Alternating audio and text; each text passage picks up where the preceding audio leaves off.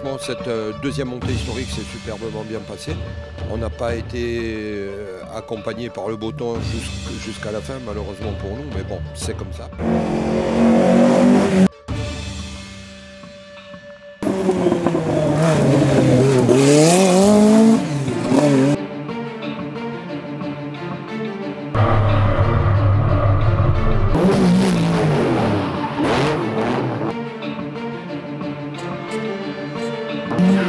Thank you.